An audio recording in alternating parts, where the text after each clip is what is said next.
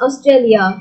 Bachelor's degree in Electrical Engineering from Rajshahi University of Engineering and Technology with the University Gold Medal. MBA degree from Australian Institute of Business. As special guest, I welcome Dr. Celia Shahnaz Ma'am, Professor, Department of Electrical and Electronic Engineering, Bangladesh University of Engineering and Technology, Chair IEEE BD Section, IEEE Women in Power Region 10 Representative. Ma'am will join us very soon. Enthusiast participants from 31 different institutes have registered for this webinar. I welcome all the participants. I also welcome all the branch members to this session.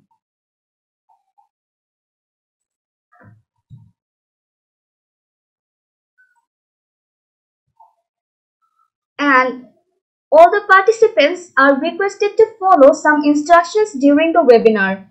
Please keep your microphone muted unless you are asking for any query. Feel free to ask your questions. You can write it in the chat box. Our speaker will answer your questions during the question and answer session. A link of feedback form will be provided during the workshop. Fill up the form to get the certificate. Finally, I'd like to request Dr. Apel Mahmud sir to start his discussion. Sir, please.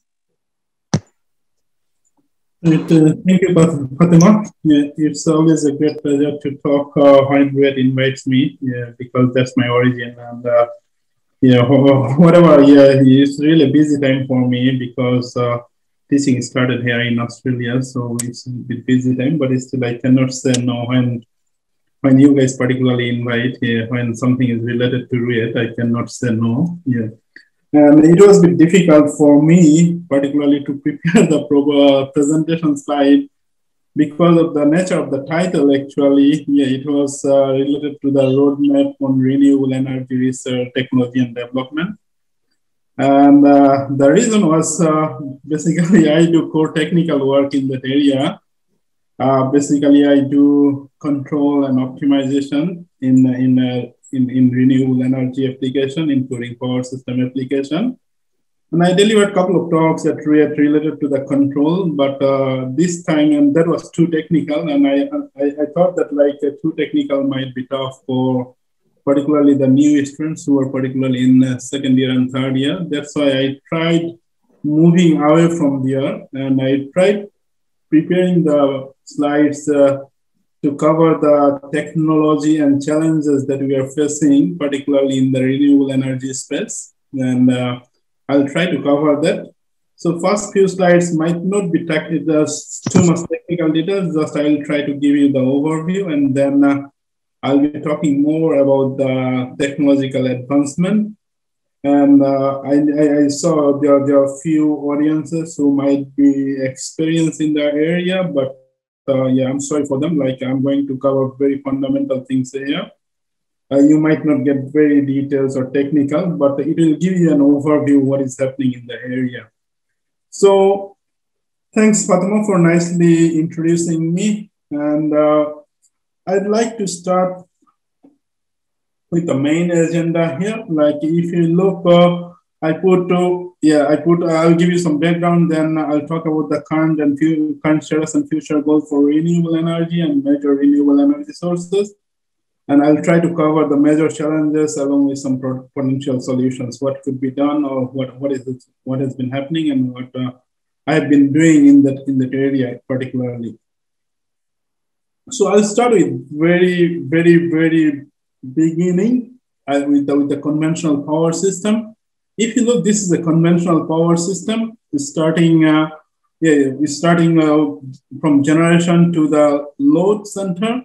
Uh, mostly conventional power system. They have got uh, like a uh, fossil fuel based generator. And uh, we are moving away. If you look at the research and development over last, I, I've said since 2010, and if you consider from 1960 or something like that, you will see the changes that happened over last 10 years that didn't happen over previous That didn't happen over previous 50 years, okay, from 1960 to 2010. So that means uh, from 2010 to 20, whatever changes happen, there is a massive change in, uh, in, in power system. And if you look at the conventional power, power system, the generators are primarily located far away from the load center. Let's say, for example, how many of you, like uh, particularly in RUET area or wherever you, you, are, you are staying, like how many of you see those generators that is generating power for, for your house? We, do, we don't see many of these generators, okay? That is the conventional trend. But in future, what is going to happen? A lot of this uh, in modern power system, a lot of these generators are coming close to the load center. Okay, a lot of these generators are coming.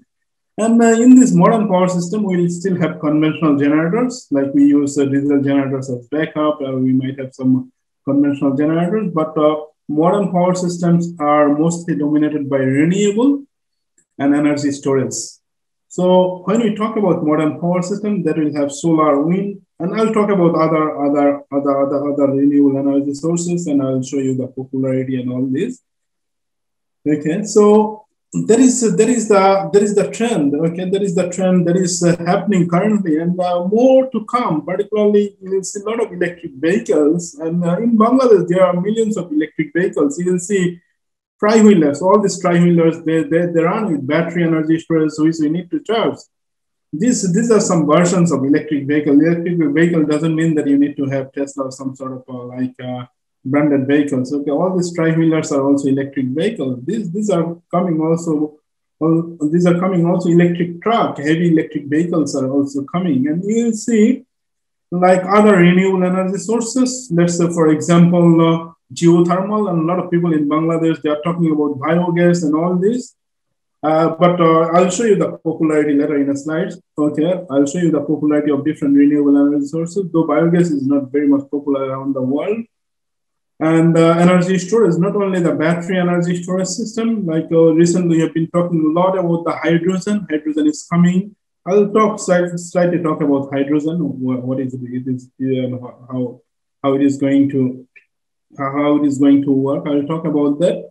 And also we are talking about the, we are talking a lot about the smart grid. Okay, we are talking a lot about the smart grid, which we will need to have measurement and communication. Okay.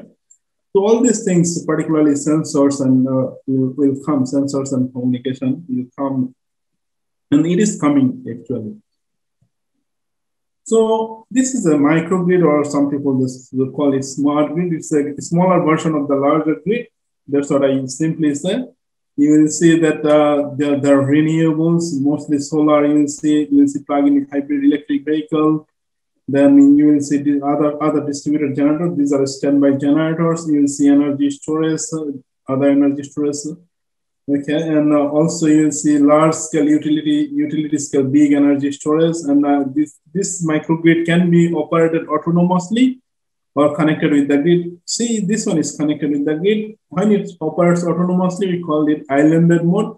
And when it is operating with the with the with the connection with the grid, we call it a grid connected mode. Okay. And this is what it is going to happen. And this is yeah, this is uh, yeah. We don't see much in Bangladesh, but uh, it started happening in a lot of different areas. It started happening, and particularly at Deakin University, we have got our own microgrid, which uh, will be commissioned uh, next week, 16th of April, actually. Yeah, so we have got our own microgrid. So, what are the feature of this of this modern grid? Okay, what, what is the feature? I, I have already touched, but I want to summarize here. All this microgrid will be dominated by renewable energy sources. You saw some figures that I showed you. You already saw. New types of loads are coming or increasing. For example, electric vehicle. We haven't thought of this tri-wheeler that we saw now. Like a few years back, we have thought of that. So all these uh, new loads are coming. And uh, also generators are located close to load centers. And more measurement and communication devices are coming, okay? And uh, we call this uh, like uh, in power, power in power system, we call these uh, sensors as phasor measurement units. Okay, what it does, it measures voltage current and rotor angle or bus angle at, at, at, at the point that we connect. or other point. What is the current status of renewable? Let, let me tell you the current status. That's from one of the recent report of renewable to, to 2020 global status report.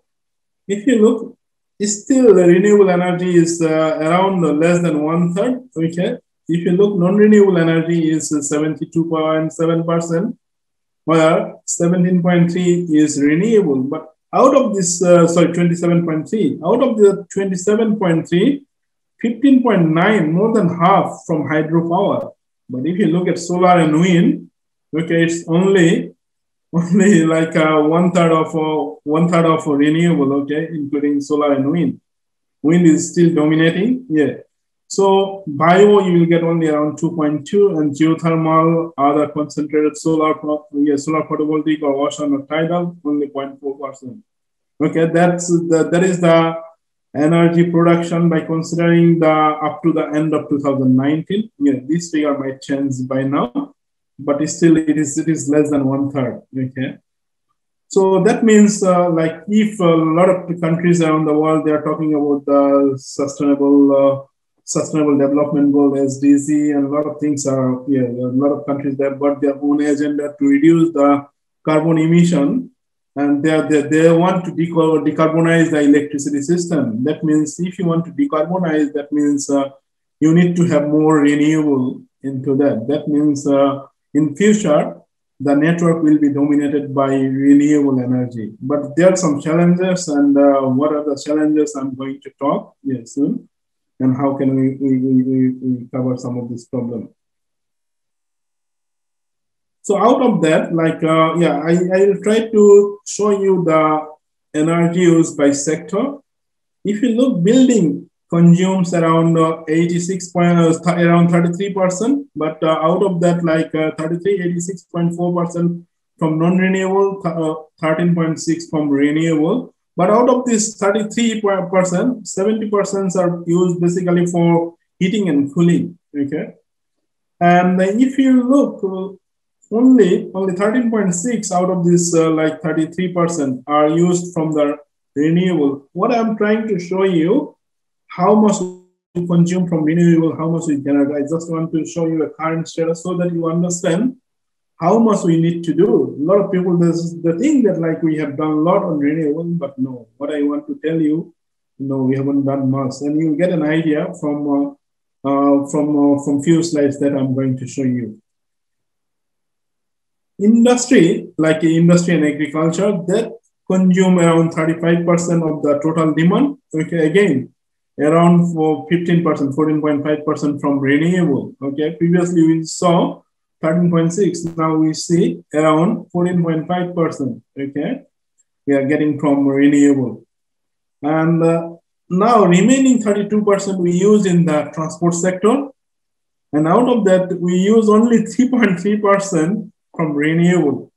Okay, but uh, there is a huge drive in the transportation sector for for using uh, using renewable energy. When we talk non-renewable, it includes all this petroleum and everything. Okay, it doesn't mean that like uh, they consume electricity only. When we talk about energy, energy includes the fuel and everything. Okay, so that means uh, yes, still there are a lot of opportunities to work on renewable, but uh, I want to show you in this slide the recent trend, recent growth up to 2000, uh, uh, yeah, up to 2019. From if you look from 2009 to 2000, uh, uh, 2019, you will see that the net additional yeah, the net addition to, of renewable is around 75% when you compare with with fossil fuel. Fossil fuel only 25% new fossil fuel based generator or non-renewable generator.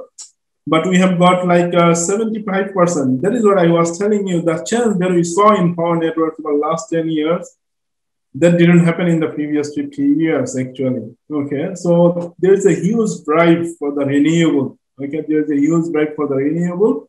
And this is in the, yeah, this, sorry, there is a typo. It's overall, it's not for uh, yeah, transport, it's overall. Okay. So that means we need to still do a lot of work in the renewable space if we want to de decarbonize the if we would like to decarbonize our electricity system, okay, we, we need to we need to have more renewable. Like uh, as I told you, like it's really hard for me because I do mostly technical work. It's really hard for me to show the statistics. But uh, from now on, I'll talk more on technical, a little bit of technical.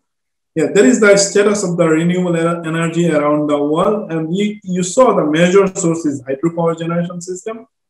Okay, then we got wind, we got solar, and we got also biogas and uh, tidal or others. Okay, these are the major, and I'm going to cover the first three. I'm going to slightly cover the first three along with the technological advancement in that in that area. Okay, that is what I'm going to talk. I'm not going to cover that the biogas, tidal, or others because I don't have expertise in that area.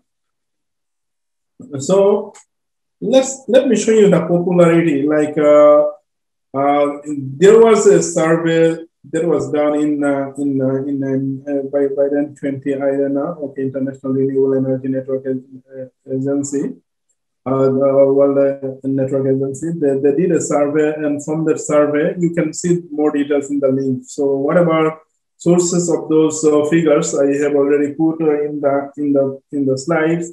And also, I have already shared the slides with Anupam. Hopefully, he will, he will share with you because I don't have anything like confidential that cannot be shared. And I have already shared with, uh, with Anupam. Hopefully, he will share the slides with him. If you want to get more information, you can go and uh, click on those links or on those uh, on the sources. I have I have appropriately referenced all the sources. You can go and have a look. So if you look at the popularity of different types of energy sources, like solar is the most popular, wind, then, then coal is still popular, you, can, you see. Okay. Then uh, like uh, gas, like uh, steam and all this, hydro, nuclear, bio, and you see the solar and wind. What I want to convey, solar and wind is still on the top. Okay. And if you take off the coal and gas, like you will see hydro. That means these are the three major sources uh, that is driving the renewable energy, energy, energy. The, so let me show you the hydropower. Basically, if you look, uh, uh, yeah, I'm not going to work on the principle, talk about the principle and all this. Uh, I believe that you all are competent to go and study how it works, how it generates power. Basically, in hydro power generation system, we use, uh, if you look at the uh, red parabola inside the red parabola. I just try to point it out the synchronous generator. We use synchronous generator. That's what we use for other other fossil fuel based generation system. Let's say if we use a uh, use a steam turbine, we use coal for we, we, we fire coal to generate the steam. Okay. Then we we, we, we, we, got a steam turbine that yeah this is a water turbine usually for steam generator we use uh, steam turbine, okay? Then we use synchronous generator. That means the operational principle of this uh, synchronous generator is quite similar to that of the traditional uh, generators, uh, uh generators in traditional power generation system, okay? The only mechanism, is, the only difference here is we use the steam turbine, uh, sorry, we use the water turbine instead of the steam turbine, okay? because it rotates using water. That's why we call it water turbine. Okay. So it, it, it the, the only distinction is uh, in summary, the, the source that you are using to rotate the turbine. Okay. So this is the hydro. That means this is a synchronous generator. And what are the challenges? Okay. In, in hydropower or conventional, as I mentioned, the challenges are similar to conventional power network. When you will have synchronous generator, you will have uh, angle or frequency stability. Angle and frequency, they are related. That's why I'm saying angle or frequency stability problems. And you will see voltage stability problems. So these voltage stability problems you will see with other generators as well. I'll talk about that. So these are the problems that we see because uh, let's say, uh, what do you, we mean by those stability? Let's say a generator can carry like a, a certain amount of load. When uh, you are you are overloading or underloading the generator, so what will happen? There will be acceleration or deceleration. Okay, that means there will be mismatch between the generation and load. So what will happen? There will be oscillations. Okay, that oscillatory behaviors that persist if they persist for a long period. So what will happen? That will destabilize the system. Okay, that will destabilize the system.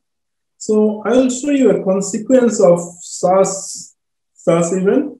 Let's say this is a practical and this is one of the uh, one of the worst blackout in the world's history. Okay, so what happened?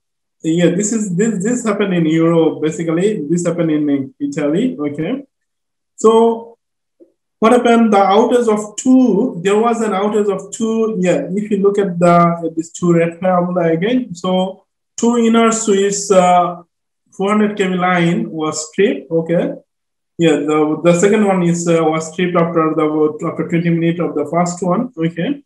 So what happened when one one of the buses, one of the key bus or strong, strong bus from the network trips, so what will happen? The surrounding bus started happening. Okay, the surrounding bus started happening.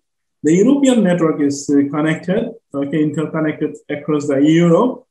So what happened? The Swiss interconnection. Switzerland is uh, just neighbor to to Italy. Okay, so what happened? That affected in uh, that affected in Italy actually. What happened?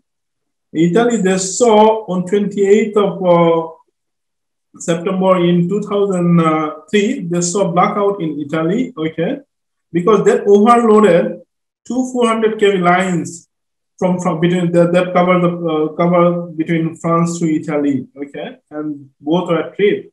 So 50 million people were out of the electricity. Okay, they were out of the electricity, but it was on Sunday. Okay. So the consequences of SARS instability is blackout. You'll see blackout, and also sometimes we saw, uh, like a, back, a few years back, we saw similar blackout in Bangladesh.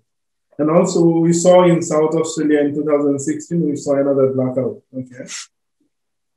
So what what causes what what happens when when these changes happen in the system? Let's say when these changes uh, these changes happen in the system, what happens internally behind the scene? What happens actually? Okay, let's say this these are the when when we talk about the changes in a system, that is basically transient. Changes mean transient. When it is settled down, we call it steady state. When there are transients, okay, when there are transients, so let's say you can carry a certain amount of load, but if you are overloaded, so what will happen? You will, you will just, uh, yeah, you will just, uh, you'll be out of phase. Okay, you'll be out of step actually. The same thing happen in the system when the generators are overloaded or underloaded. So what happened? When these were tripped here, these were underloaded, but other parts got overloaded. So what happened? The generator trips, that means the transient, the transient within the system affected. And the generator, the simple generator, let's I have used a two machine, a two area four machine system here. There is a uh, there is from a book called Prabha Kundur book. Prabha Kundur Power System Stability and Control by Prabha Kundur. We call it Bible for the Power System Stability. So what happened, the generator has got some parameters, we call it uh, stability sensitive parameters. That is the dynamic parameter. When you talk about the change and transient, that is dynamic, that represent the dynamic. So what happened, these parameters, let's say this is the open circuit dielectrics, transient open circuit time constant, transient reactance, all this transient parameter that changes depending on the transient in the system. So what happens, that changes, when these changes happen, the generator goes out of step actually, the generator tripped off. If, if, you can see, we, we did some simulation, we published this work in uh, IEEE transaction and control system technology in uh, 2016, one of my students, yeah, we did this work with one of my PhD. If you look the straight line, yeah, I'm colorblind, so yeah, don't ask me which color I'm talking, probably it's black. If you look at the straight line, black straight line, you will see that that is when there is no changes in parameters in the system. That means the system in steady state. That means the system parameters are not disturbed. But when there are some changes in D and H, that means the damping constant, inertia. So you will see some changes, but that is still okay. If it persists for a long, small time, that is still okay. But when you change the transient parameter, let's say TD, XD prime, and all this, you will see severe changes. Okay, that means when these oscillations, this is the speed deviation of generator one here. Okay, we are looking the speed deviation. That that's in simple generator, the speed deviation should be zero because the simple generator always operate at the synchronous speed. That means the speed deviation will be zero. But uh, when these parameters get disturbed, you will not get zero speed deviation. That means your system will be disturbed. That means that is a key challenge. Okay, that means you need to put more damping. When we talk, when the when uh, when let's say you are shaking okay, when you are shaking for overloaded or for some sickness, so if we want to stop you, we need to hold you, okay? We need to hold you from two sides, okay, so that you don't shake. The same thing we need to do. So in, in these hydro generators or synchronous generators, okay, in simple generator, we use excitation controller, okay? We use excitation controller to solve that. And excitation control input, I have put it here, oh, sorry, yeah. EF is the excitation control input. And we consider, we design controller by considering all the parameters appearing in the model. This is the model. Yeah, I'm not going to talk in detail. We consider all these parameters as unknown. We have considered external disturbances, D1, D2, D3, all these are external disturbances. And we represented all these parameters, theta as unknown, okay? And then what we did, we used the measurement of the speed to estimate all those parameters. That is what I'm going to show you we measure the output, which is the speed deviation. Then we use the, we estimate the parameters and we use the estimated parameters to design the controller. That means if there are some changes in the system, okay, that changes will be captured through the measurement. And based on that measurement, we will be starting estimating the parameters. Then we will be sending the parameters to the controller so that the control signal will adapt the situation. Okay, that will adapt the situation and add more, more damping torque into the system so that the system gets stabilized. Okay, this is how we try to solve. And uh, this is one of the, the, we, we applied disturbances at 12 second and we cleared that disturbance at, at uh, 13.2 second basically. And we, we compared the performance of the controller with what we have been uh, proposing here, robust adaptive nonlinear or, or robust adaptive uh, nonlinear adaptive backstepping controller. So this is the green line. That is what we did. Okay. So we, we, we try to show that like with the, with the controller that we do, like uh, that stabilizes the system. That means you need to design new control that will have more damping, that will that will eliminate the sensitivity issue within the system. So let's go for the wind power generation system. Like in wind power generation, we have got two types of wind power generation. One is fixed speed and another one is variable speed. Okay, in fixed speed, we use the squirrel cage type induction generators. For variable speed, we use uh, double induction generators and permanent magnet synchronous generators. And I'll talk both. Okay, fixed speed has got some limitation. Okay, the speed need to be fixed. There are a lot of limitations. I'm not going to talk about that. Okay, if you go and search in Google, you've got hundreds of limitations. I'm just going to talk about the key technical problems, okay, key technical challenges. I'm not going to talk all the major challenges, like all these benefits, okay, that is already available if you search from, from the basic Google search, okay. So if you look here, this is a squirrel cage generator. Again, it's a gearbox. You need to speed up or speed down. We use this gearbox to control the speed basically nothing more than that uh, to, uh, to ensure that the wind generator has, has got a cutoff or yeah, speed which is above the cutoff speed. Then uh, if you look, it is connected to the grid, but uh, if you look, we have got some STATCOM and uh, capacitor bank. STATCOM is static uh, synchronous compensator and capacitor banks. Uh, all these uh, compensators, they provide reactive power.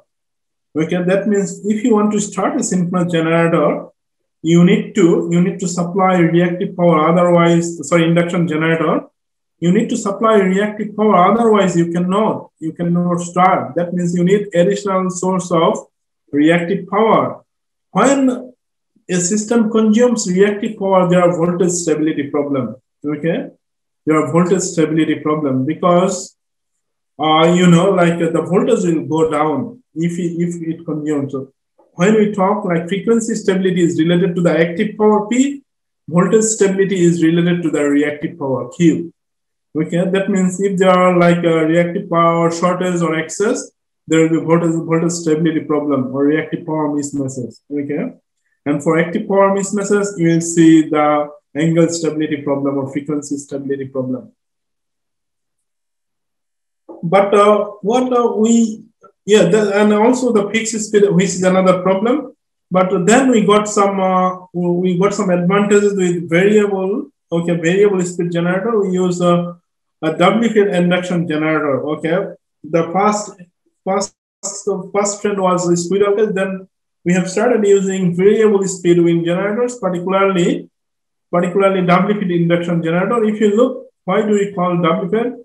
It is uh, yeah. So one of these will be connected with the stator, and one of these the rotor. So here is a like minor typos. Sorry for that. So what it does, like we use, if you look, we use two back-to-back converters here. One is rotor side converter, another one is grid side converter. Okay. So we use two back-to-back converters. Okay. So two back-to-back converters. so what we do, we can partially supply the reactive power. Okay, but still there are voltage stability issues. You cannot supply the full reactive power using this converter. Okay, and also also, and as you can supply the reactive power, you can still start the generator, but uh, sometimes depending on the requirement of the system, that might not be sufficient, okay, to ensure the stability of the system. In that case, what you need to do, you need again the, the FACTS devices. But all these uh, squirrel cage and uh, W-field induction generator, we can use for high power application now I'm going to show you another version, which is we call PMSG based, permanent magnet synchronous generator based. Okay, PMSG means permanent magnet synchronous generator based. As, as I told you probably earlier, it can supply both active and reactive power.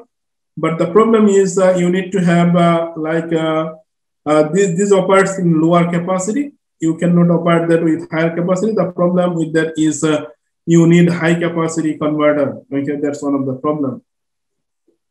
So all these wind generators, particularly, still they're located far away. They are, they are mainly in offshore location. Okay, they are mainly in the offshore locations. So what we do, yeah, since they are in offshore locations, so what we do, we compensate the line. We compensate the transmission line. When we compensate, that means we put a series capacitor to reduce the inductance, inductive or reactive effect of the line we compensate the line to improve the power transmission capability. Okay, that is what we do for the offshore. But that will introduce some new problem, which is called subsynchronous resonance, SSR. I put it in the next slide. So what issues, like uh, here I have tried to summarize, how high power losses because they are in offshore locations. You need spec devices, most of the cases and uh, you will see synchronous, subsynchronous resonance, okay, because you need to compensate the line to improve the power transmission capability. So these are the major issues. So here I'm, I'm going to show you like you can you can overcome these issues, active and reactive power control, by controlling this inverter. So you can use a similar type of controller, like I'm going, I, I won't repeat that controller block again. You can use a similar type of controller that I showed you. Like uh, I'm, I'm mostly talking from the point of uh, like uh, uh different types of nonlinear controller. Uh, when I say RAP SMC, that means robust adaptive sliding mode controller. FBL, FBL SMC, that means uh, this is the feedback linearizing uh, sliding mode controller. So if you look, the sliding mode controller is providing a bit of more, oh yeah, more stable responses. This is the subsynchronous resonance oscillations. So from this figure, you cannot distinguish. That's why we have the, shown a zoomed window here from where you can clearly see that like the advanced controller, what I try to convey from here is the advanced controller can solve some of these issues in the in the grid, okay, in the grid with, with, with wind farms. Now the third key renewable energy sources is solar photovoltaic. This is the representation of a grid connected solar photovoltaic system. Here you can see that, yeah, we have got DC-DC converter and a DC-DC uh, and a voltage source inverter. So this is what we do. Like uh, we need to maintain a constant voltage at the input of the inverter. This is what this DC-DC converter, boost converter does because the output of the PV array is not sufficient. or it's not constant as well. We use a maximum power point tracking system embedded with this DC-DC converter to keep a constant voltage at the output of this uh, DC-DC converter. And the current is the variable part. Okay, the current is the variable. Then we convert this. We got a DC voltage constant DC voltage across this link capacitor. Then we convert it to AC voltage. Okay, so this is how it works. And here is a microgrid. I show I have shown you a DC microgrid. Here I have shown a, a hybrid AC-DC microgrid, and you, you will see what I try to show from here is you will see a lot of lot of converters, whether it's a DC-DC in in in DC microgrids all DC-DC, but you will see see DC-DC and DC-AC and bidirectional as well. Okay, bidirectional voltage source converter. So that means all these are dominated by power electronics. When you talk about renewables, you see, when you talk about renewables, all these are dominated with power electronics converters. Okay, that means power electronic converters play a key role. Yeah, play a key role in uh, in in in in in renewable energy integration. So here I have tried introducing different uh, sources. If you look here, fuel cell, basically it operates based on the hydrogen. Okay, I'll show you later on.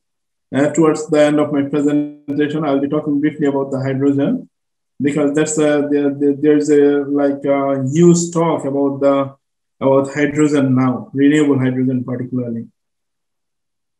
So here I have tried to summarize. You will see different types of control converters. Okay, DC-DC boost converters for PV application, DC-DC buck boost for energy storage application because you need to buck and boost the voltage depending on the requirement, and voltage source inverters for PV or window wind applications. And you will see these bidirectional for AC-DC micro bidirectional converters and back-to-back -back converters for wind generators. So these are the main converters.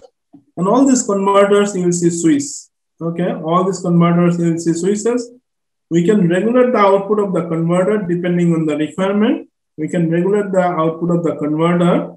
Okay, that means we can control those uh, switches. But before I show you and talk about the control, PECI is Power Electronic Converter Interface Renewable. What are the major problems?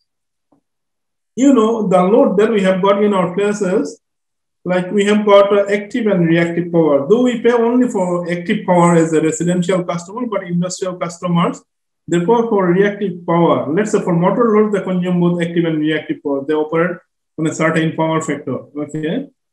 So that means the desired active and reactive power into the grid or into your load under varying load conditions is a major challenge, major problem. So if there are lack of reactive power, you'll see the voltage stability. If there are lack of active power, you'll see frequency stability problem. Okay. And also appropriate switching scheme because if you switch the converters, there will be harmonic actually. Okay. There will be distortion in the voltage waveform and current waveform. So if the switching scheme is not appropriate, so what will happen? You will see distortion. Okay. You will see distortion. And also in the, in the modern power grids or renewable energy dominated grid, so you will see the generators are located close to each other. But in conventional power system, the generators are located far away from each other. So what happened when you when you particularly when you particularly couple together? Let's say some of your friends you are living uh, close, like uh, living close. Let's say I, I'll give you another example how many of you can uh, have a strong connection with your friends from school? Because you are living away from them, you don't have a strong connections. Okay, but when you live close, let's say you are currently studying a trade, like you have got close tie with your friends that, uh, that, that, that are close to you. That something happens. We, we in system theory, like we call all systems are analogous. Okay, there's something happen in the in, in power system well, in renewable energy dominated network, particularly in low voltage network, the generators are located close to each other. That means the interactions, the interactions among generators are more. So let's say I, I try to show you a, a results from one of our paper. Uh, yeah, we, you, if you find there is a single PV unit, like the green line, single unit, you see there's no interaction at all. But when you are increasing the number of PV unit, you see the oscillation in real power. Okay, in that means you see the frequency stability problem still. Okay, so we need to overcome those problems. So these are the major challenges. So you can design switching schemes to overcome those challenges, or you can have additional additional devices, for example, energy storage system to tackle some of these challenges. So what is the consequences? The consequences is, uh, yeah, if that problem persists, you, you need to disconnect the renewable energy sources from grid, but you cannot, as per the grid code, you cannot disconnect the wind farm. If you suddenly disconnect the wind farm, there will be blackout. And South Australian blackout that I was talking, like the blackout in Adelaide in 2016, was one of the example for, for, for similar consequence. So you definitely will you you you will lose a huge amount of power and there will be huge loss of uh, uh, revenues. Yeah. So what are the potential solutions? Definitely you can uh, yeah because I do work on control. So I, I, I talk from the control point of view, but uh, you can definitely put some auxiliary devices, as I told, uh, energy storage or flywheel, uh, different storage technology you can put, and uh, definitely you can, yeah, definitely you can, uh, you can uh, tackle some of this problem. But I'm talking, I'm going to talk about the control point of view. Okay, there are different types of control are model free and model based. So with the with the existing uh, linear control, yeah, with the existing linear control, the problems I highlighted in red, limited operating region, still see harmonics and limited robustness against external disturbances. But we can solve some of these with uh, with the renewable. So Fatima, I can talk till nine. Is that right or something? Sir, will you repeat the question? I couldn't understand. I can talk till 9 o'clock. Is that right? 9 or something like that. 9 o'clock. What time do you want me to finish? What time do you want me to finish? 9 o'clock according to our time, Bangladesh time. Oh, sorry. Bangladesh time is 5 o'clock here. 5 o'clock. Uh, okay, sir. No problem. Okay, all right. So, yeah, I, because I might need more than 10 minutes. Yeah. I prepared for 50 minutes. So yeah, so if I consider 50 minutes, it will be six past five. Okay, something like that. Okay, thanks. Yeah, I just want to confirm about the time that. Okay, sorry about that. Sorry for the interruption. But we can use some advanced control to solve many of these problems. Okay, to solve many of these problems because uh, I've been spending over last uh, 12 years on the control, working on control so we made some really good uh, contribution in terms of designing new controller. So if you look, I, I started with feedback linearization. That's why I put feedback linearization on top. So it is independent of operating point, but you see the red, the green is the solution to some challenges okay, that I mentioned earlier. The reds are still the problem. So I just try to show you the evolution of the control, okay, in terms of solving the problem. But it, it, it, still there are some problem like a high sensitivity to parameters, output selection cannot guarantee the stability of all properties. Then we got sliding mode control. It can partially solve some problem, but cannot solve all problems except one problems. It can solve all problems, but uh, yeah, partially solve some problems. But if you look in backstepping, it can solve all problems almost except the highly sensitivity to parameters, high sensitivity to parameters. But we can solve this sensitivity problem by adapting the parameters. That is what we did actually. Okay, that is what we did. We, we, we, we did another evolution of this. Okay, that is the nonlinear adaptive backstepping scheme. So that means using advanced control, and we validated the, many of this controller in our lab. And uh, my PhD student, they did, uh, yeah, they did publish. Uh, I did, we did publish a lot of papers in that area with, with PhD student as well. So here's an uh, like uh, example, like uh, yeah, so backstepping and uh, sliding mode control. NBC is the nonlinear backstepping. ESMC is basically existing sliding mode control. So like uh, this is a result that I captured from one of our published paper from uh, for one DC microgrid. We try to for for in a DC in a DC microgrid, we try to make a constant voltage at the at the at the at the common DC bus where all the sources are connected. So if you look, we try to maintain 640 volt DC, okay? And we apply disturbances at uh, 2 second, 3 second, uh, 4.5, 5, 6. And then we applied at 7, 8, okay? We, we applied disturbances. So these are the transient. When we talk about the disturbances, basically we changes the load or we change, we, we turn off either one of the generators or we add more generators, okay? But if you look, the transients or oscillations are lower. Okay, the transients or oscillation, if you look at the zoomed window, oscillations are lower with when we are using the backstepping controller. That means using the advanced controller, you can solve the transient issues in, in, in, in, in, in modern power grids.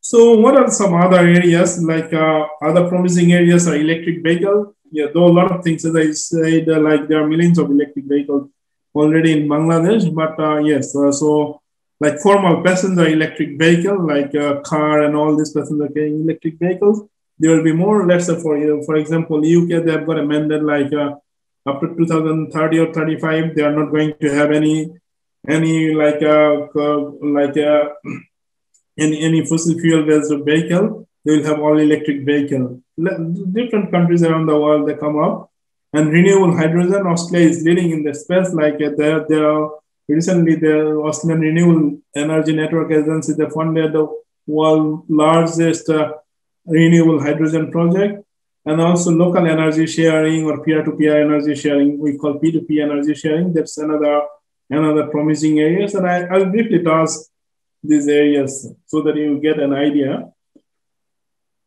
So basically electric, uh, yeah, solar power electric vehicle charging station, if you consider from the, I'm talking from the renewable energy perspective because the title of this talk is renewable energy. So that there is going to be the major, major area in future because we are talking about fast, ultra fast, super ultra fast uh, uh, charging. And also when all these heavy electric vehicle will come, they need very fast charging. Then will put huge pressure on the grid in the same time, yeah, there is the grid to vehicle, and we are talking about vehicle to grid as well. We want to support the grid when it needs, because if you want to pump power from uh, uh, from electric vehicle to to the grid, so that will also create some issues. So we need to tackle and we need to look into that. So renewable hydrogen. So what we are going to do, yeah, I'll, I'll spend a bit of time here. So what we are going to do in with, with renewable hydrogen, let's say if you look solar, wind, so currently they are directly connected with the grid through converter. So what we are going to, we have already started doing, yeah, in, in Western Australia, particularly, yeah, Western Australia is, uh, Perth is the capital of Western Australia. In Western Australia, they have started a existing wind farm to produce hydrogen instead of generating electricity, okay? So we are seeing a lot of initiatives. The concept here is let's say you will use electricity. Yeah, you will use electricity to generate hydrogen through electrolysis. Okay. If you pass electricity through water, okay, through electrolyzer, so what will happen? It will produce hydrogen and it will produce oxygen. Okay. So what after that you will store the oxygen in a hydrogen tank and then you will use a fuel cell to convert that back, okay, to convert that hydrogen back to the, to convert that hydrogen back to the electricity. Now the question is, so why are you going to do that? Okay, why are we going to do that? So the reason is like uh, it is very compact. Like hydrogen has got very, hydrogen is the high like hydrogen has got the highest concentration. That means within a small place, you can store huge amount of energy. Currently, they have estimated uh, like, uh, it, uh, yeah, we, I was going through Australian National Hydrogen uh, Energy Strategy, like in a in a place like battery, whatever the let's say battery can uh, store 10 kilowatt hour equivalent of energy. So in the same space you can you can store three times three to five times they are talking and also the lifetime will be three to five times more than the battery energy storage system and if you do a life cycle analysis you will see that hydrogen is going to be like hydrogen fuel cell or hydrogen storage is going to be more useful. And also like hydrogen is used to produce ammonia, okay, particularly in agri agricultural land, we use a lot of ammonia, okay, as fertilizer. So these hydrogen are currently being produced from, these hydrogens are currently being produced from uh, coal-fired or steam-fired, okay, by burning conventional fossil fuel. So there is also like yeah, there is a, there is also a, affecting the environment. So instead of producing that using the coal-fired generator, the future is heading to generate hydrogen from this uh, renewable. Okay, so there is there is the renewable hydrogen concept. and also local energy sharing. And uh, I'll tell you the motivation for that. It's uh, it's more or less yeah. Let me go to the yeah. I'll talk about the motivation for in the next slide. So it is it is all about like Uber concept. Let's say if you have got a car, okay, you can drive and earn money. And uh, like uh, if you don't have a car, like you can ride someone else's car, okay so that's the concept in energy sharing. When you have solar energy and you have got excess energy, your neighbor doesn't have energy, you can share with neighbor, but at a price higher than the utility rate. Though it is not, it is not going to be very popular in Bangladesh because in Bangladesh they pay the the, the yeah like uh, they pay the feed-in tariff which you usually they use the net metering system. Okay, the concept of the net metering system is like whatever you are feeding back to the grid, you'll uh, you'll get the whatever you consume, they do the algebraic sum, okay? Like they, they just calculate that as, as a negative load, okay? Whatever you are supplying to the grid, that consider as a negative load.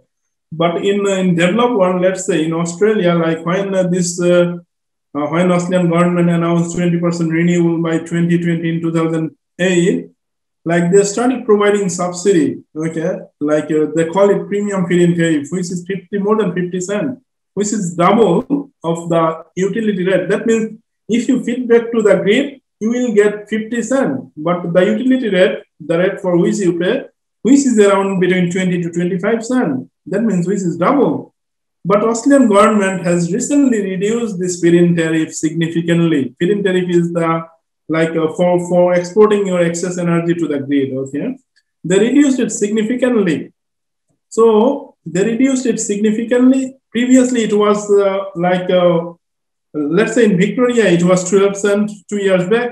From this year, they started, they, they started 10 cent. And from July, it's going to be 6 cent. And apart from that, Australian Energy Market Commission, AEMC, they are introducing new rule. They're talking about solar tax credit. That means if you export energy in future, let's say during the peak hour, that means the solar peak you are generating more and everyone is uh, everyone is exporting energy to the grid so that means that will create the network congestion okay so to overcome that network congestion so what is going to do AEMC like already AEM Australian energy market operator they have already got the control in South Australia to shut down the solar if they, they want okay but uh, what they're going to introduce in future, they're going to introduce tax. That means if you are if you are feeding back energy during the peak, solar peak, they're going to charge you basically. They are going to they are going to charge you. Okay, they're they're going to charge you in future. So so that there is solar tax. That means these schemes like uh, the integration that will that will like uh, that will hamper the integration of renewable energy. Okay, in uh, in the grid. So what could be the solution for that? So we can locally share the energy and we can use that. Okay, we can uh, we don't need to export it to the grid, and that is what we are trying to do here. And uh, I have got a PhD student working on this on a, on a project, and uh, she's about to finish. So we, we have recently, yeah, sorry, we have recently developed a smart energy hub. The concept of the smart energy hub means uh, like you have got different facilities. You will see surrounding different facilities, small industries, transport, health and education, community services, residential services, commercial services. They have got their individual energy sources they might have, or they might not have. They might be connected with some community-based okay energy energy supply system. So what they can do, like we are developing an energy hub, okay, like this is the information and communication technology services that will connect information from different different nodes in the network and we'll be using the smart grid communication and then we'll be using the we'll be using the uh, energy sharing and trading okay through this hub so that is the concept of smart energy hub okay and we have also recently published uh, this work in, in a magazine though it is not in online yet yeah it is in IEEE consumer electronics magazine so this is the communication in, in the smart energy hub. Okay. So we try to have more reliable communication, like if one of the link page, communication link, all these desk lines are the communication link. So you will see some uh, you you will see some antenna here, small antennas here and there. Okay. So all the, they will be able to communicate with each other, and you will see small EMS. They will have local energy management system, and all this local energy management system will be connected with the with the energy hub. So also we, we have introduced the data analytic framework within the smart energy hub. That means, let's say from the meter, smart meter data, will tell like, uh, let's say you have got a lot of different appliances in your home. What we want to do, we will disaggregate your data and we'll tell you how much your refrigerator consume, how much your television consume, and we'll, we'll compare, let's say a refrigerator is supposed to consume uh, 600 kilowatt hour energy in a year. Let's say 650 kilowatt hour uh, in average in a month. If your refrigerator is consuming, less than 75 kilowatt hour, we'll provide advice to the customer that, okay, hey, your, your refrigerator is consuming more than what is supposed to consume. If it continues, let's say for the next uh, two years, three years, we will be paying this much of more electricity bill. It's good, like instead of doing waiting for the period, like it's good, you, you can change and get a replacement for that. Okay. So that means we will provide some advisory services to the customer. That is just one sort of example. We'll do that uh, like, uh, yeah, we, we, are, we, we, we have been doing it actually, like we, we have developed a prototype yeah, so so we haven't did we that is still in the simulation platform, but not in the practical. Yeah, so we have been using that. We have we have used some machine learning techniques to get the signature of all devices, and then disaggregate that. So this is also the the smart energy hub has got decision decision making framework. We have used a multi criteria decision because there will be a lot of different parties and all these parties, they will have a lot of different, uh, uh, different, uh, yeah, they have got different uh, like uh, preference. Let's say you want to participate for a certain period of time. Other participant doesn't want to participate in a day, particular day. Okay, so we incorporate, we try to incorporate all the all the decision of customers. So we have incorporated multi-criteria decision theory over there to make decision. And as I mentioned, there are interaction among different sources because they are close to each other. We have introduced a distributed control scheme within that so that the interactions can be minimized. Okay, the interactions can be minimized. So, and we have got real-time bidding as well. If you look, this is the utility rate, this is the feed-in tariff rate. So what we did, like uh, we try to make sure that the bidding will be happening within this boundary, utility rate and feed-in rate, because if it is outside the boundary, the market will not be attractive. Let's say if you can uh, travel like uh, with uh, with a rickshaw to go to Sahib like uh, with uh, with uh, 20 taka, Uber is charging 50 taka, so why should you go with Uber? Okay, the same concept here. Yeah. And similarly, if you if you can go with the Uber like uh, with, with 20 or 25 taka, why should you go with rickshaw? Okay, so this is the we, we have set a boundary by considering the utility and feed-in rate. So and, uh, and uh, the, they will be in the market, and uh, we formulated that as a multiplayer uh, multiplier non-cooperative game. Okay, so to get the market equilibrium. So yeah, that's pretty much. I have I, I have left it open because it's uh, really open. So I, I didn't summarize. So oil here. Just what I try to say. You saw probably from here. what you need if you want to do really some good contribution in this area, you need to do advanced, you need to have advanced modeling scheme, advanced control design scheme. And currently we are looking alternative to data-driven approach. A lot of people, they are talking about data, okay? But in power network is not, yeah, you, you, you might not get a lot of data in power network. So basically, yeah, so in, in my research group, we have been looking alternative to data-driven. Uh, we are almost in the mid midway to that. Yeah, we are all, almost in the midway to that. that. And also communication, okay? Communication, you need communication, you need the concept of economics, like the double auction, double-sided auction. I have shown you auction mechanism. And you need the concept of optimization. That means energy is not only an energy area, it's an interdisciplinary area. People from mechanical, electrical, computer science, or even civil engineering background, they can work in this area. This is a truly an interdisciplinary area.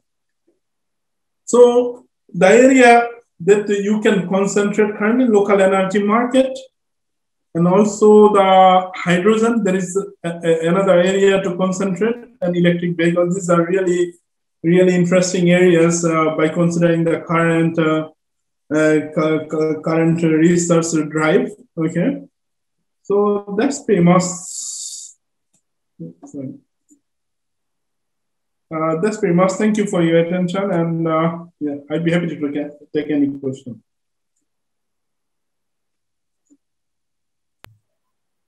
Thank you so much, sir, for your valuable speech. It was really amazing, and it's time for question and answer session. Dear participants, if you have any question, please write it down in the chat box or unmute yourself. You can also speak in Bangla for your ease.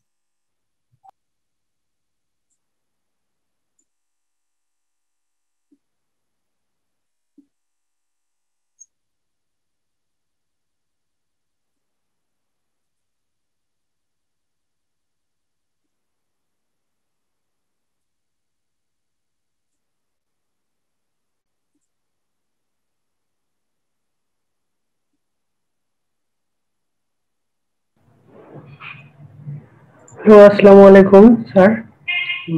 Uh, I am Umar Farooq, uh, Tripoli 15 series, RUET. I have a question on inverter control mainly. Uh, my question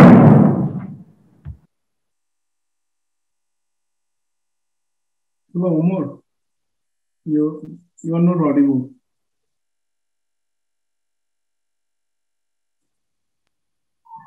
Sir, before he arrives, can you please make me host for this event for a while? Mm, yes, I can definitely. I don't know uh, how I become host here. Let me go there. Omar Farooq has mentioned in the chat box to wait for a while. Within this moment, dear participants, sorry sir. Actually i have internet problem. So my question is uh, how can i uh, learn about the inverter control? Uh, uh and in mainly inverter control technique uh, i have i i desire to focus on this because i want to work on this topic for grid connected pv system mainly. Thank thank you thanks. Yeah, the best way to start with control is uh, like uh, I always refer to the students, like uh, whoever like uh, wants to start working on control. Like I would like to refer them to go through a book uh, like Power System Stability and Control, though there is not a converter control, but chapter 12 of Prabha Kundur book. Okay, so that will give you the whole idea of the control particularly. That will give you the whole idea about the control particularly. I'm typing it in the inbox. Chapter 12 power system stability and control. That that is one of the things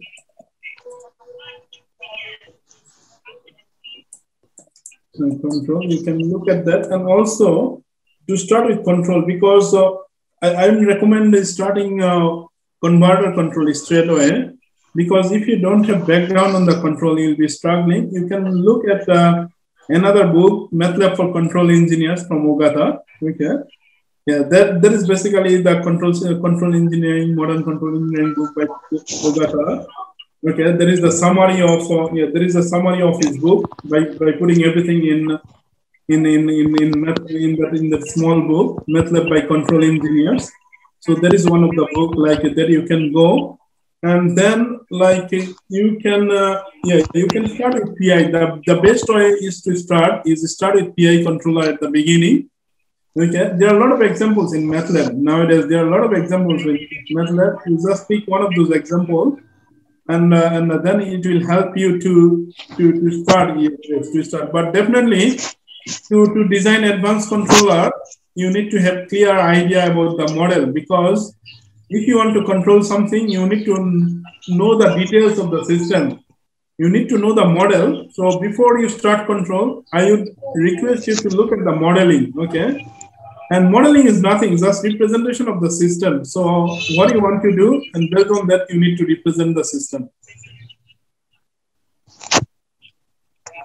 Thank you, sir.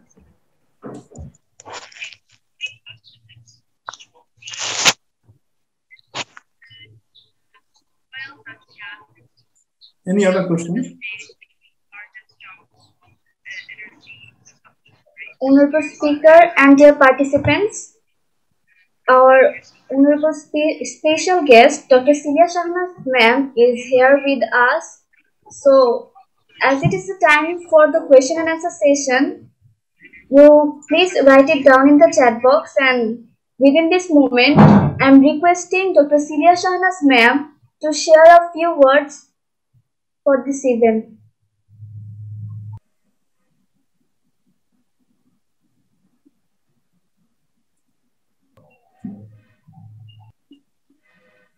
Hello everyone, uh, can you hear me?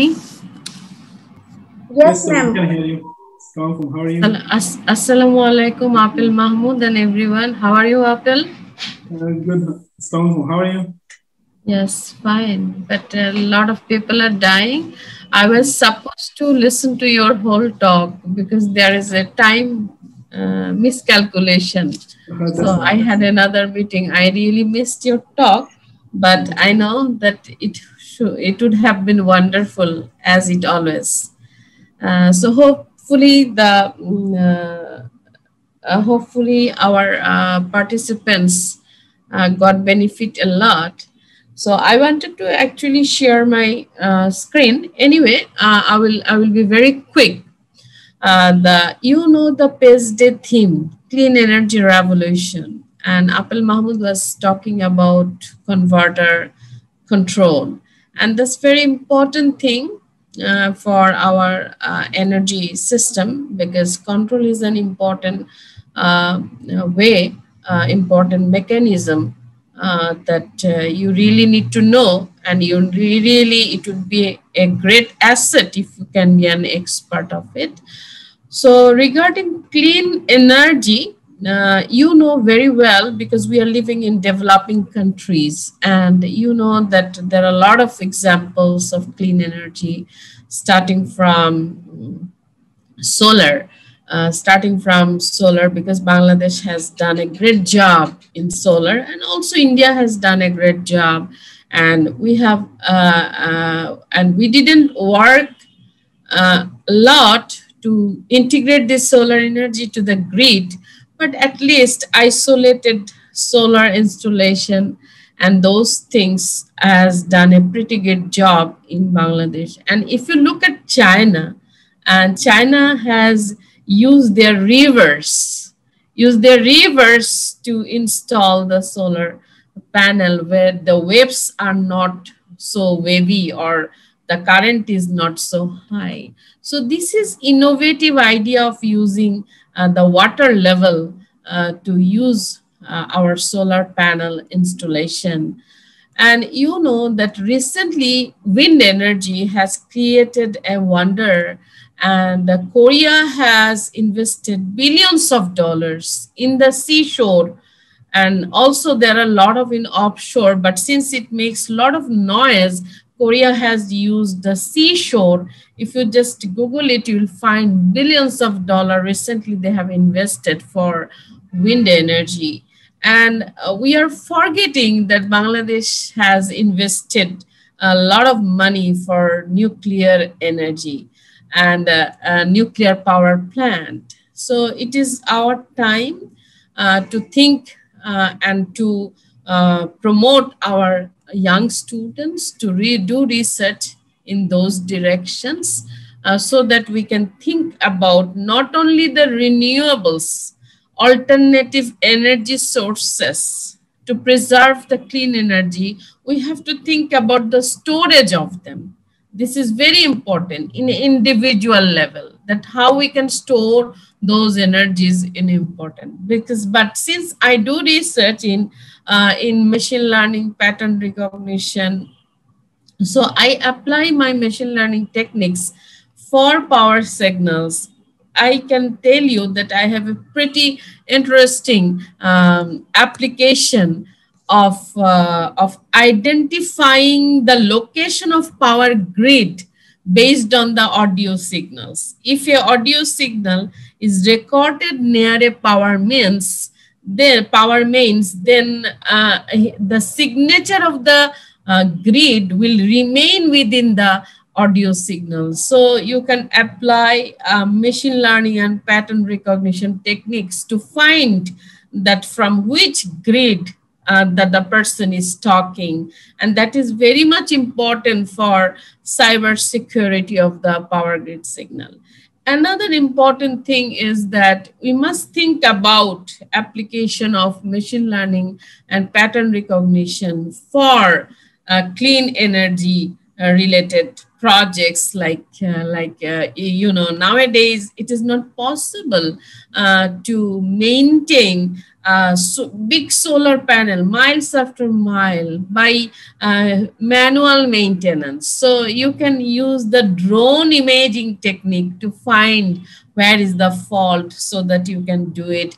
And there are a lot of things like IoT and sensor data for those solar system management because you can use IoT or sensor data to have a smart home, smart car parking system, smart uh, maintenance. These are the amazing application that for which you should focus on the clean energy.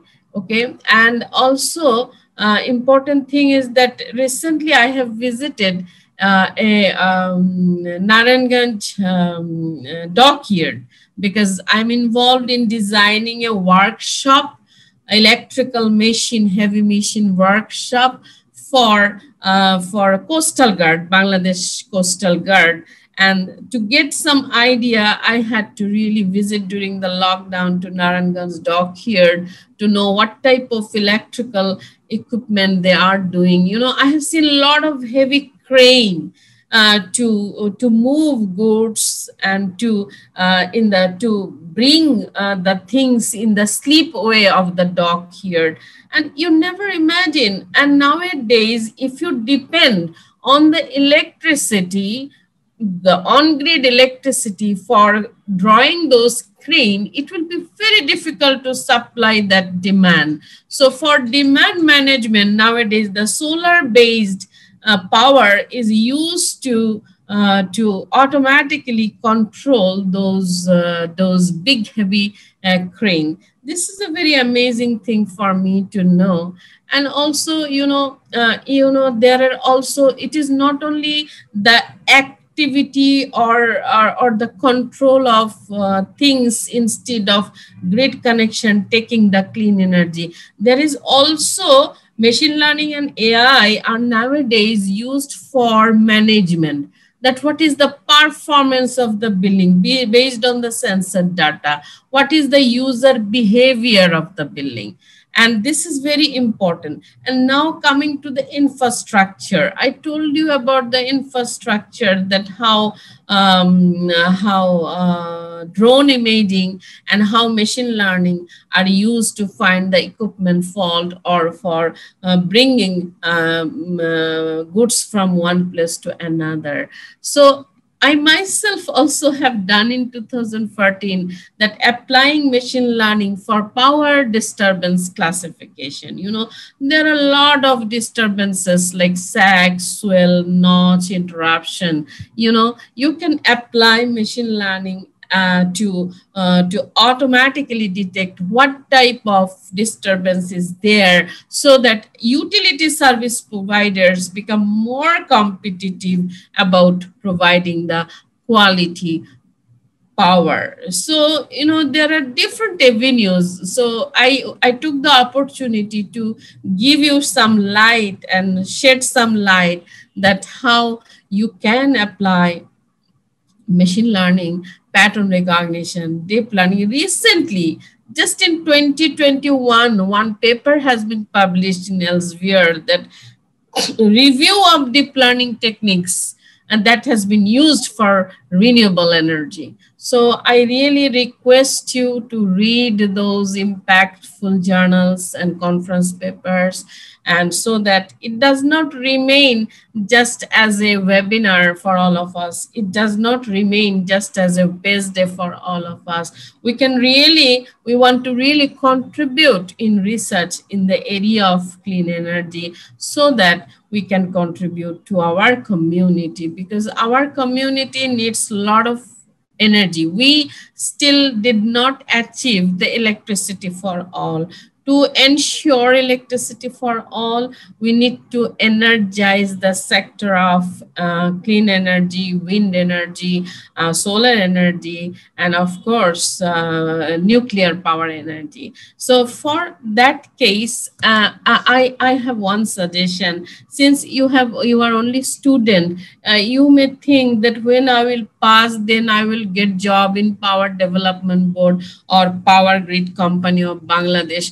Then I can do something. No, you can start doing now. Find a problem in the local community and you can solve it by your knowledge using clean energy. You need a mentor. Say you can uh, you you you can you can do a small solar installation with your supervisor with your mentor and you can deploy it to your school in the village from where you are coming.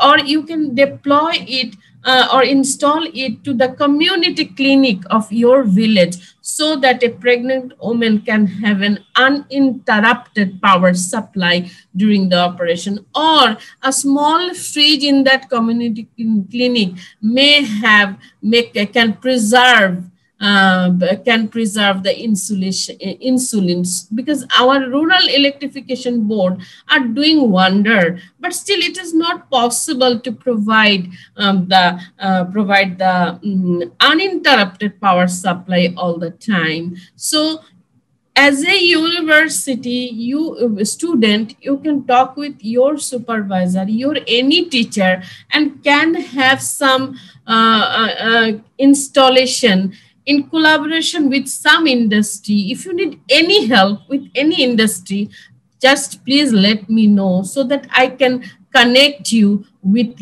uh, an expert from there and from where you can uh, contribute to the small solar installation so that you can contribute it, it to the rural school and rural community clinic. In this way, you can all contribute to the revolution of use of clean energy. So that is very important. It's not only listening to webinars, it's not only listening to the writing the journal papers. We have to contribute to the our community because our country needs to meet 17 United Nations Sustainable Development Goals.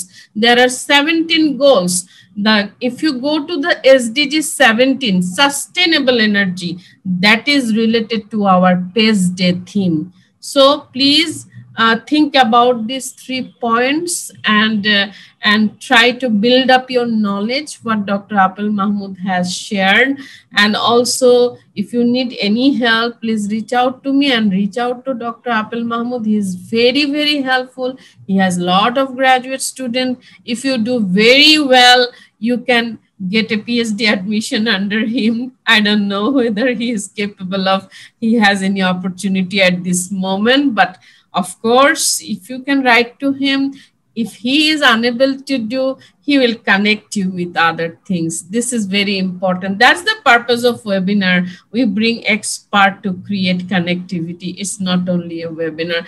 Thank you fatima for inviting me.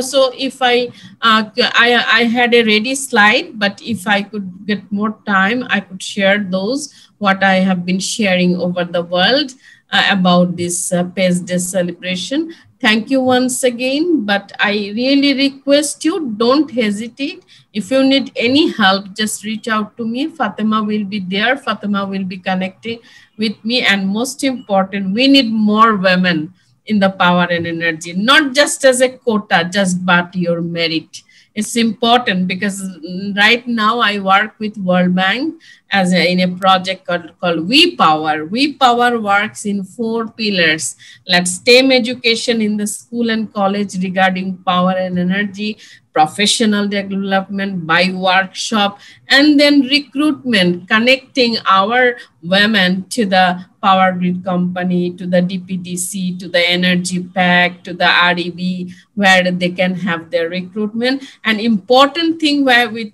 whom I'm working is the retention, bringing the role models from the industry who are women. They are sharing their best practices of the company that why they are still retaining in that industry. That means inspire more women to come to power and energy industry. They can go to the field job. It is possible. And um, so these, uh, these four pillars I'm working on. So this is very important for us uh, to bring to encourage more women to the power and energy sector. I am telling it in the capacity of uh, IEEE Women in Power Region and representative.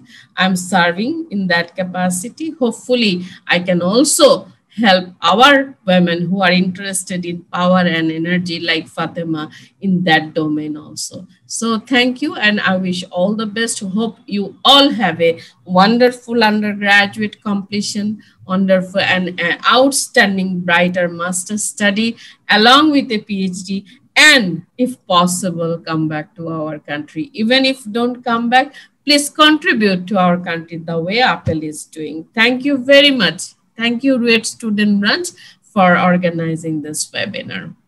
Take care, stay safe. Thank you so, so much, ma'am, for your valuable words and for making time for us. Dear participants,